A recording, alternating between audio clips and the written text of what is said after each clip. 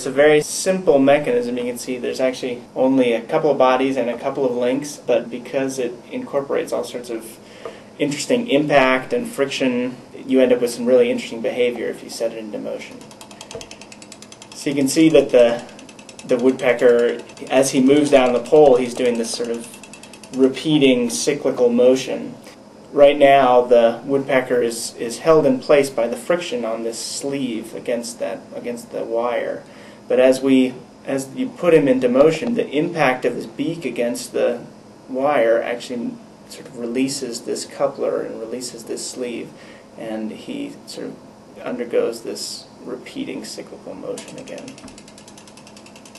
So again, it's a sort of an example of how a very simple mechanism when you when you combine all these uh, all these really complex behaviors that that are associated with stiction and and friction and impact, you can get really interesting dynamics. Here's the woodpecker in super slow motion, filmed with a special high-speed video camera.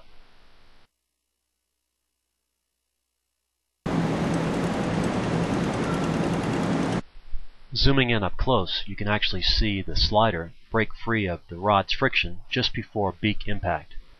Notice how gravity and the spring coordinate to provide this very interesting motion.